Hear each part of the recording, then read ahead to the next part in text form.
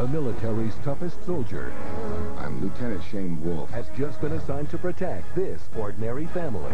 Oh, you gotta be kidding me. Now, Mrs. Plummer, I've dealt with... Oh my, That's scary.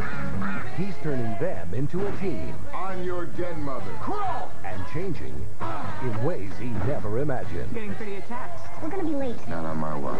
Walt Disney Pictures presents The Pacifier,